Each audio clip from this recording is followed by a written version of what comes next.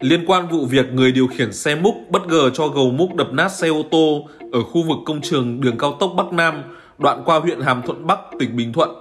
Viện Kiểm sát Nhân dân huyện Hàm Thuận Bắc đã phê chuẩn quyết định khởi tố bị can, lệnh tạm giam bị can 3 tháng đối với Đinh Văn Hoàng, sinh năm 1997, ngụ tại tỉnh Con Tum, về tội cố ý làm hư hỏng tài sản.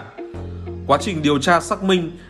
Đinh Văn Hoàng đã có mâu thuẫn với ông Lê Trần Nhật Thành, sinh năm 1982, trú tại tỉnh Quảng Nam, là thủ kho của công ty cổ phần cầu đường New Sun đang thi công đường cao tốc Bắc Nam.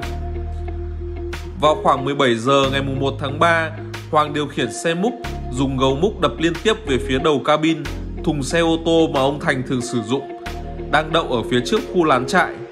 làm cabin thùng xe ô tô bị vỡ nát, biến dạng. Vào hồi 12 giờ 50 ngày 9 tháng 3, tổ công tác của công an huyện Vân Hồ, tỉnh Sơn La trong quá trình làm nhiệm vụ tại khu vực bản Chua Tai, xã Vân Hồ, huyện Vân Hồ đã phát hiện và bắt quả tang một đối tượng có hành vi tàng trữ trái phép chất ma túy. Đối tượng bị bắt giữ là Tráng A Cờ, sinh năm 1974, trú tại bản Chua Tai, xã Vân Hồ. Vật chứng thu giữ gồm 10 viên ma túy tổng hợp, 0,6 gram heroin. Thi hành lệnh khám xét khẩn cấp nơi ở của đối tượng, lực lượng chức năng thu giữ một khẩu súng tự chế dài 115cm, nòng súng bằng ống kim loại dài 71cm, báng súng bằng gỗ dài 39cm.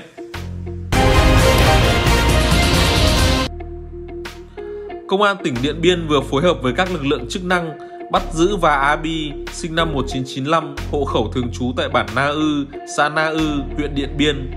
Có lệnh truy nã đặc biệt nguy hiểm, sau 9 năm đối tượng này lẩn trốn tại nước ngoài.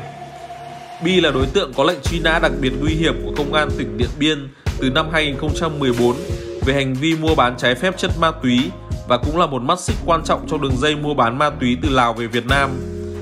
Thời điểm trốn truy nã sang Lào, Bi đã dùng mọi thủ đoạn để thay đổi tên nhiều lần và cuối cùng lấy tên là Giàng Minh, nhập khẩu tại bản Pà Sằng, xã Mường Khương, thủ đô Viên Trăng.